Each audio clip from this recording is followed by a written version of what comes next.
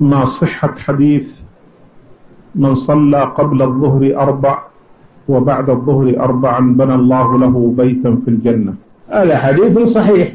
يستحب لك أن تصلي قبل الظهر أربع بسلامين وبعد الظهر أربعا بسلامين. والله جل وعلا وعدك أن يبني لك بيتا في الجنة.